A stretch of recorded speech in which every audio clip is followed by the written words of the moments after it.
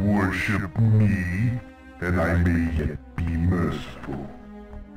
Then again, maybe not.